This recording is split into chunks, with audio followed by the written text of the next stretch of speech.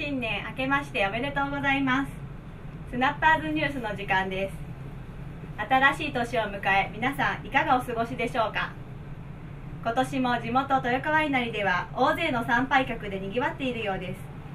早速中継先につないでみましょう。中村さん。はい中村です。明けましておめでとうございます。おめでとうございます。こちら豊川稲荷ではたくさんの参拝客で賑わっております。それでは早速私もお参りに行ってきたいと思います。では中村さんが移動している間に今月のスナッパーズの予定をお知らせいたします。9日レディースデー。目的地は板を予定しております。女性レンタル込み1万2000円で大変お得になっております残席残りわずかです。18日学科。21日スナッパーズ10周年記念と新年会を予定しています。28日29日ダイビングディズニーシーツアーを予定しています。参加者まだまだ大募集中です。私も行くので参加してください。あでは中村さんが到着したようです。はいそれでは私もお参りしてみたいと思います。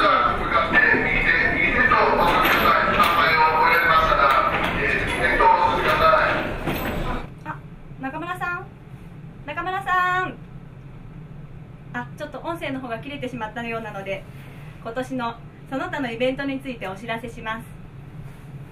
3月10、11日ダイビング富士急ツアーゴールデンウィーク。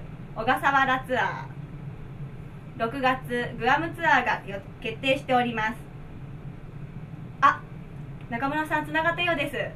中村さん。はい。ただいまお参りから戻ってまいりました。それではあの参拝客の方に少しお話を聞いてみたいと思います。よろしいですか？はい、今日は何をお参りされましたか？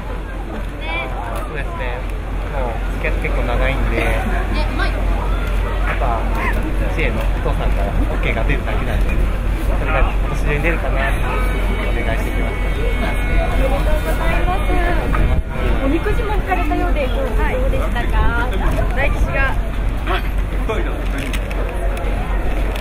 お二人の仲もさらに深まりそうですね。じゃあ、あと最後に一つだけ、今年の抱負を教えていただけますか？え、今年の抱負ですね。えー、まあ、1年間ダイビング休業してたんで、今年は、まあ、目指せはオーストラリア、海外ですね、行きたいと思ってます。